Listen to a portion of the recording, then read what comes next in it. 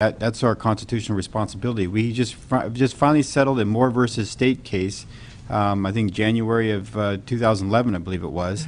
And that was, uh, that was a case that said that uh, rural Alaska is not getting the same adequate education as urban Alaska. And during those court settlements, it was clear the responsibility lies on the legislature. And not just to throw money at the, at the problem, but to actually come up with viable solutions and come up with programs.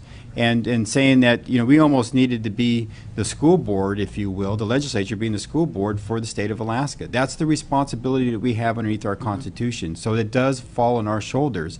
What's unfortunate is we're not having those talks, we're not having those discussions, and it seems like there's an avoidance to talk about properly supplying our school districts with the resources that they need and trying to pass the buck on to local communities. That's wrong.